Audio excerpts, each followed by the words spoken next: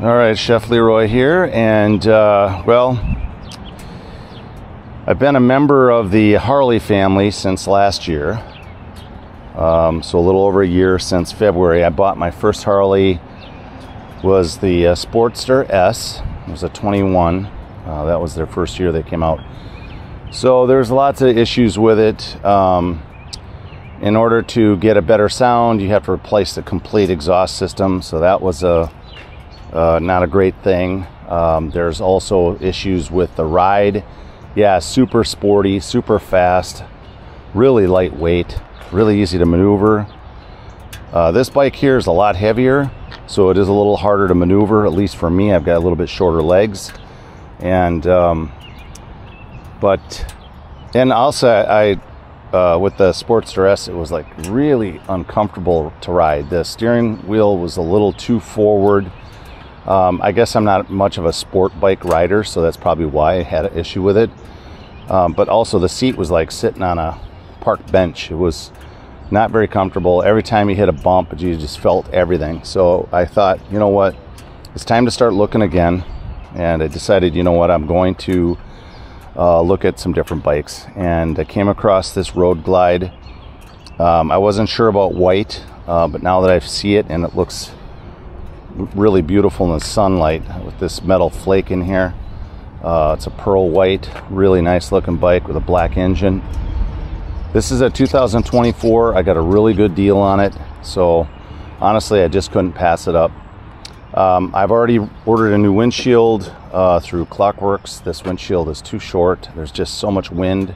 It literally hits you right in your face. So um, I decided to get a little taller windshield. Now, Windshields, you're not supposed to look through them, at least this style. You're supposed to look over the top of them, but I just got to get that wind to get a little bit higher up over the top of my helmet.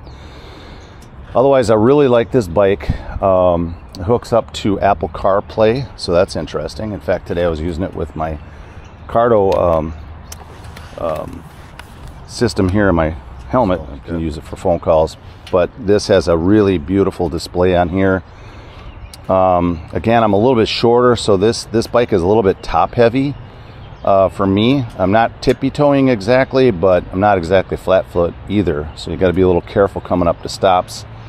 Um, braking on this is really uh, good. The throttle's got a really um, quick response, so I'm trying to learn it a little bit compared to my other two bikes that I have.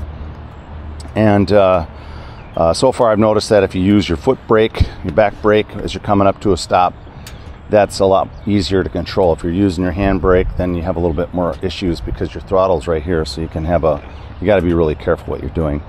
The other downside with the Sportster S2 is only a two gallon tank, so it held very little gas and uh, didn't have that good of cruising range. So I really like their saddlebags here. Um, there's this lever here to pop them open. And these little guys right here are to pull them off and there's actually an adjustment for uh, the spring on this side, and there's an adjustment on the other side for uh, shock response or whatever it is too. So there's a couple things that you can do to adjust your your uh, ride. But uh, so far, I really like it. You can actually take these off and drive around without them too, so you got a little bit different looking, sporty kind of look.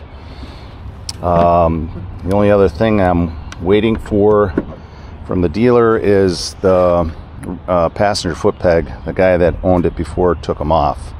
Now there's a couple blemishes here. The guy fell over with it, so it scraped this here. Got a couple little scratches here and there, but you barely can even see anything. Here's another one right here. Another one up here. There's a little bit one on the mirror. There's one on the engine bar. So there you have it, guys. I'm now a Road Glide uh, family member. So they're nice looking bike. Let's start her up. Let's hear what the sounds like here. We're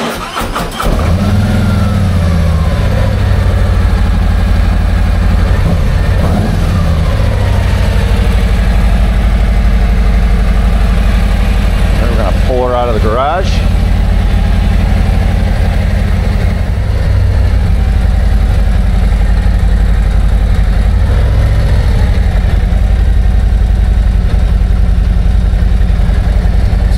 See it's got a really nice display and you can change the display. There's uh, two other types of displays on here. Um, it's got uh, Apple CarPlay, so I can play my tunes off my phone right onto onto the stereo. It's got some nice deep pockets here for different things. Here, there's CarPlay, so I can just hit OK. Um, nice deep pockets. I got my garage door opener in here. There's also a USB um, cord in here, a USB-C, and then these close down just like that. You can throw your keys inside or whatever. They don't lock, so you got to be careful with that.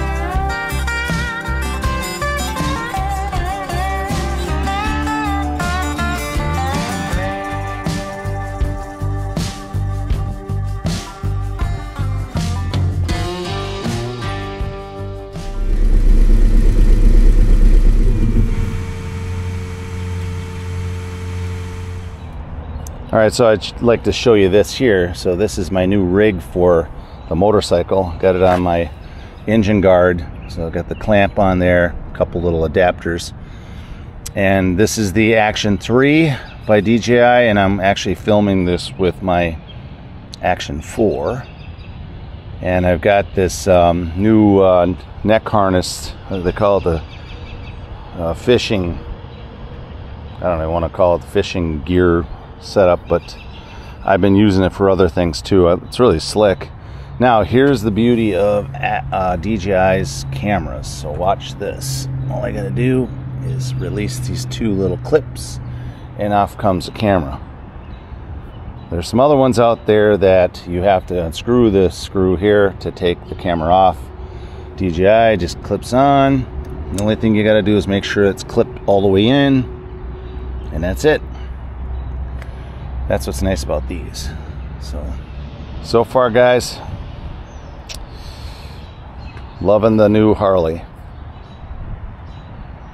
Go around this way so you can see what the pearl white looks like. Some handprints here. can see them in the sun really well.